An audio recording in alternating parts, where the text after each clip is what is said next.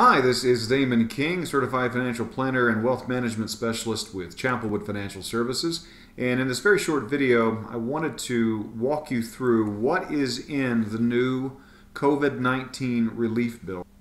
Well, first of all, what is it actually called? It's called the CARES Act, the Coronavirus Aid, Relief, and Economic Security Act. You know Congress, they like to have their acronyms. So that's the actual name of the act itself. So, what exactly is in it?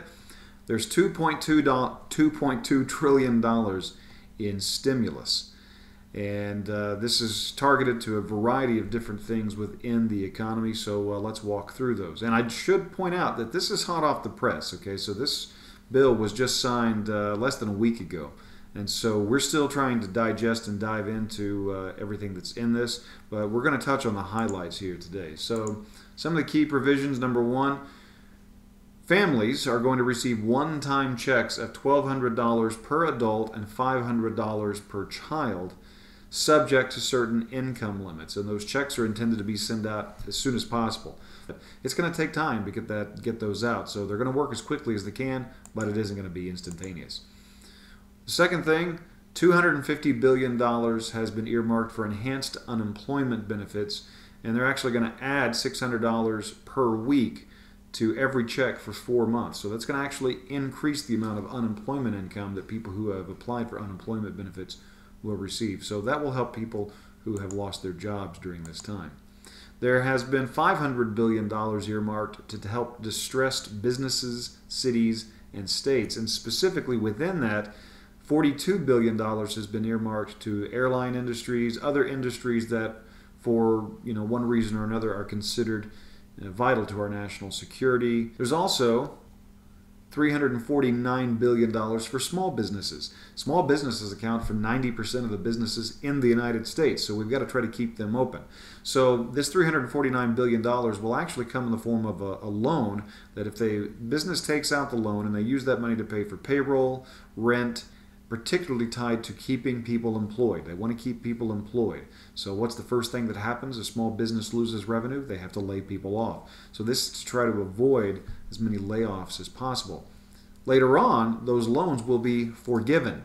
Basically, they won't have to pay them back. That's the, the general language of the bill. I'm sure there are a lot of other details that are uh, required there. $150 billion has been earmarked for direct uh, aid to state and municipal governments.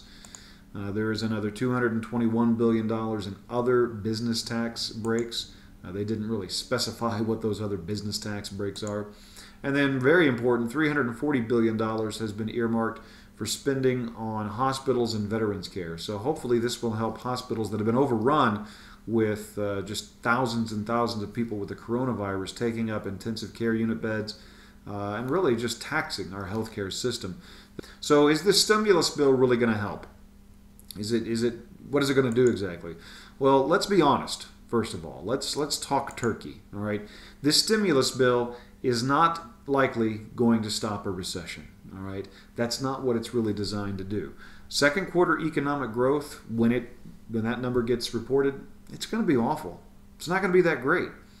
The third quarter, we don't really know right now. It, it could go either way. It really depends on how long it takes for the virus to be contained and for businesses to open back up again, for us to get out and start spending our money. One thing is certain, though, once we get back to life as normal or we start to get back to normal life, there's going to be a lot of pent up demand. People will not have gone out to eat for a long time, or they wouldn't have gone shopping or see a movie.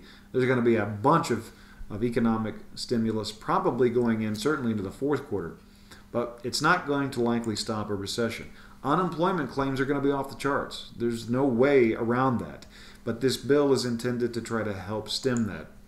These results um, are simply the natural result of shutting down our entire business system. But what this bill is designed to do is to keep the engine running.